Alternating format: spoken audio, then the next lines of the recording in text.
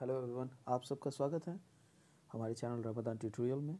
और मेरा नाम है मोहम्मद शहबाज आलम और आज हम लोग पढ़ने वाले हैं M M T zero zero six के first unit M M T zero zero six में, जिसका नाम है फंक्शनल एनालिसिस इसके लिए फ़र्स्ट चैप्टर हम लोग पढ़ने वाले हैं यूनिट वन जिसका नाम है नॉर्म स्पेस आज हम लोग नॉर्म नॉर्म स्पेस के बारे में पढ़ेंगे। ज़्यादा कुछ नहीं पढ़ने वाले नॉर्म स्पेस में से सबसे पहले इसका डेफिनेशन पढ़ लेंगे और इसके कुछ एग्जांपल्स को कवर करके आज हम लोग अपना नॉर्म स्पेस कंप्लीट करेंगे। तो देखिए डेफिनेशन से जुड़ी हुई कुछ चीज़ों को मैं आपकी किताब से ही दिखा दूँ सबसे पहले। जैसा इन लोगों ने यहाँ डेफिनेशन लिखा है, इस डेफिनेशन को ही हमें याद रखना है और इसका इतना दूर का भाग जो है वो सबसे ज़्यादा इंपॉर्टेंट है।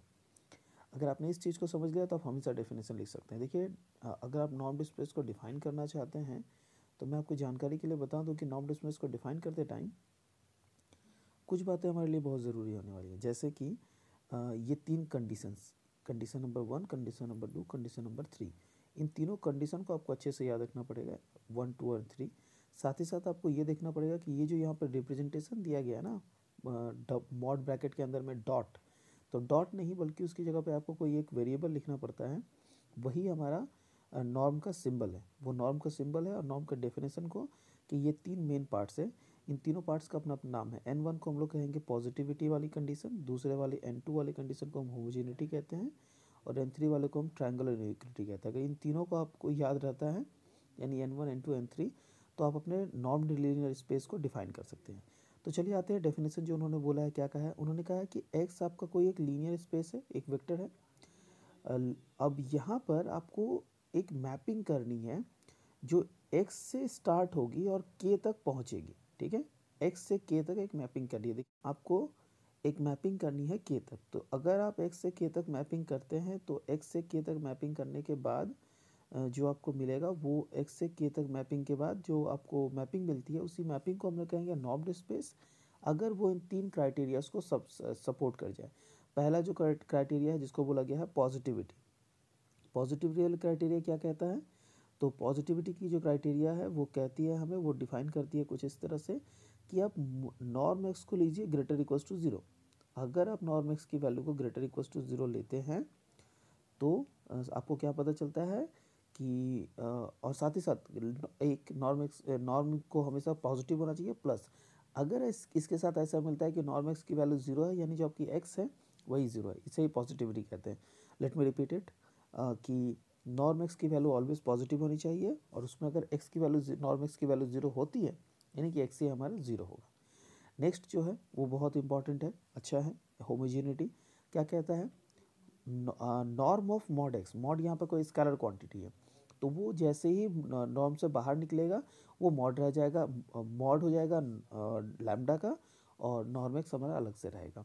यहाँ लैम्डा किसी के से चूज़ किया गया है, आपको एक के बारे में पहले ही बताया गया था। तो ये होमोजेनिटी है। थर्ड एंड लास्ट जो कंडीशन है, जिसके, जिसकी हमें चेक करनी पड़ती है, वो एक इनिक्वलिटी है, जिसे ट्रायंगुलर इनिक्वलिटी कहते हैं। Norm of X plus Y is lesser equals to norm X plus norm Y अगर कोई एक्स है, जो इस तरह से डिफाइन हो सके तो हम लोग उसको नॉर्मल लीनियर स्पेस बोलेंगे। आई होप आपको डेफिनेशन क्लियर हो गया। तो अब इसके एग्जाम्पल्स के बारे में हम लोग आते हैं। मैं सिंपली आपको दो एग्जाम्पल्स के साथ शो करूँगा, जिसमें फ़र्स्ट एग्ज़ाम्पल हमारे पास ये दिया गया है लेकिन आई थिंक फ़र्स्ट एग्ज़ाम्पल से बेहतर होगा कि आप सेकेंड एग्ज़ाम्पल पे काम करें। थोड़ी सी प्रीवियस चीज़ की जानकारी अगर आपको है ना, आप सेकेंड एग्ज़ाम्पल को देखते ही आइडेंटिफाई करने लगेंगे और सीख जाएँगे नॉर्म स्पेस को। तो नॉर्म स्पेस में हमारे पास इस क्वेश्चन में क्या कहा गया है? हमसे क्या दिया जा रहा है कि एक्स का नॉर्म दिया गया है सफिक्स में टू नीचे जो दिया गया है, ये डिनोट करना चाहता है कि पावर टू के बारे में डिस्कस किया जा रहा है, यानी नॉर्म स्पेस फॉर टू इसके बारे में हम लोग और कुछ देर बाद डिस्कस करने वाले हैं।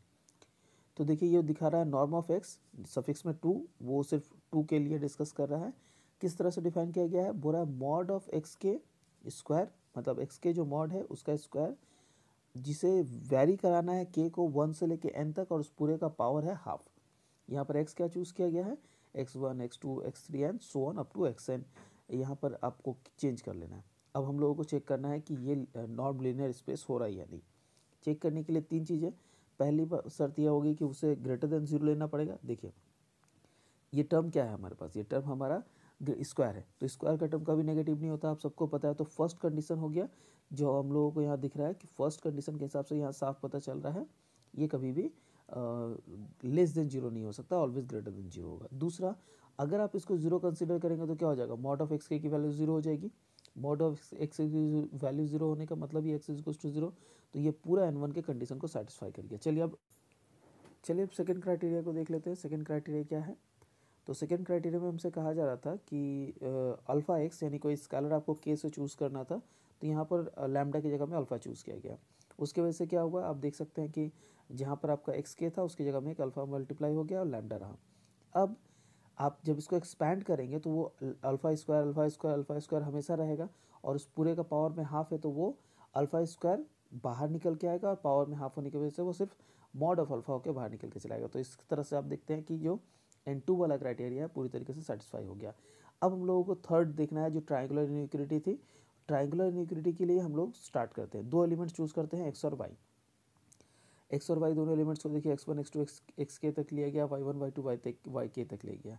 अब हम लोग ट्राइंगुलर इनिक्विटी में जानते हैं कि ट्राइंगुलर इनिक्विटी कुछ इस तरह से कि मॉड ऑफ़ एक्स वाई जो लेसर इक्वल्स टू होता है मॉड एक्स मॉड वाई तो हम लोग उसे चेक करेंगे। इन लोगों ने सबसे पहले एक्स प्लस वाई फॉर्म किया है। एक्स प्लस वाई का मतलब एक्स में से फ़र्स्ट एलिमेंट लेंगे तो वाई में से first element and so on तो ये हो गया X one. X plus Y की वैल्यू क्या निकल गई है X one Y one comma X two X two plus sorry X one plus Y one comma X two plus Y two and so इसी तरह से चलते जाते लास्ट एलिमेंट होगा X K plus Y K. अब हम लोगों को क्या देखना है? Norm of X plus Y नीचे टू का मतलब आपको पता ही है, वो हो जाएगा बाय द फॉर्मूला हमारे पास हो जाएगा। जैसा कि आप देख सकते हैं कि बाय द फॉर्मूला वो ये हो जाने वाला है। X K plus Y K mod का होल स्क्वायर वहाँ के वेरी करेगा वन टू वन लिखा नहीं गया, आप लोग देख लीजिए whole to the power half यहाँ पर हमें एक पुरानी इनिक्वलिटी का फॉर्मूला जो हम लोगों ने पहले पढ़ के रखा था, उसे याद करना होगा। मिनकोस्की की जो इनिक्वलिटी थी, जिसके अकॉर्डिंग आप देखिए, ये norm of x two x plus y जो देख रहे हैं, इसे हम लोग इस दो भागों में तोड़ सकते हैं प्लस पावर में हाफ़ रहेगा। अब ये देख सकते हैं, पहला वाला हमारा नॉर्म नॉर्म ऑफ़ एक्स को दिखा रहा है, और दूसरा वाला नॉर्म ऑफ़ वाई को दिखा रहा है। तो ये इसके इक्वल हो गया। हमारा कंडीशन जो था, वो लेसर इक्वल्स टू था, यहाँ इक्वल टू आ गया है। तो कोई भी एक कंडीशन सेटिस्फाई हो चुका है दैट मीन्स एन थ्री भी सेटिस्फाई हो गया। तो हम लोग क्या कह सकते हैं, जो हमारा स्पेस था, वो R to the power n जो है, वो एक नॉर्म लीनियर स्पेस है। इस तरह से आई होप कि आपको बेस्ट समझ में आया होगा नॉर्म लीनियर स्पेस के बारे में। चलिए इसके साथ जुड़ा हुआ एक और चीज़ है जो किताब में दिया गया है। मैं इसके बारे में भी थोड़ा डिस्कस कर लूँ। देखिए ये जो नॉर्म के सफिक्स में जो हम लोगों ने देखा कि नॉर्म के यहाँ पर हम लोग देख रहे थे कि टू लिखा हुआ था नॉर्म के, नीचे में ये किसी भी एक पी के लिए होल्ड करेगा। ये जो हम लोगों ने अभी थ्योरम प्रूफ किया जो एग्जांपल हम लोगों ने देखा कि पी की वैल्यू वन टू इन्फिनिटी कुछ भी हो सकती है उन सब के लिए होल्ड करता है। इस तरह से हमें क्या पता चलता है कि जो नॉर्म लिनियर स्पेस है, ये for p mod of x के whole to the power p whole to the power one upon p for p lying between one to infinity कुछ भी ले सकते हैं। और ये रिमेंबर ये वन से स्टार्ट होता है। तो इस तरह से हमें जो एक नॉर्म लिनियर स्पेस बोलता है, उसे हम लोग कुछ इस तरह से बोल सकते हैं। Hence R to the power n is a norm linear space with p norms defined on it तो ये याद रखिएगा। कभी आपको मतलब कॉर्नरी बोल के ये प्रूफ करने के लिए दे देता है कि R to the power n is a norm linear space with p norms defined on it काफ़ी इंपॉर्टेंट है। इसके बाद देखिए कुछ और एग्जांपल्स दिए गए हैं डिफाइन करने के लिए। ये हमारा नेक्स्ट क्लास होगा, तब हम लोग इसको डिफाइन करेंगे, जिसमें डिस्टेंस के बारे में और डिस्टेंस से जुड़े हुए कुछ प्रिपोज कुछ प्रिपोजिशंस के बारे में बोला गया। जो प्रोपोजिशंस हमें आगे प्रूफ करना है। तो ये हमारा नेक्स्ट क्लास होगा। आज के लिए हमारा क्लास इतना ही। अगर वीडियो अच्छा लगता है तो लाइक करना ना भूलें और हमें चैनल को सब्सक्राइब करें। थैंक यू सो मच मिलते हैं अगले क्लास में.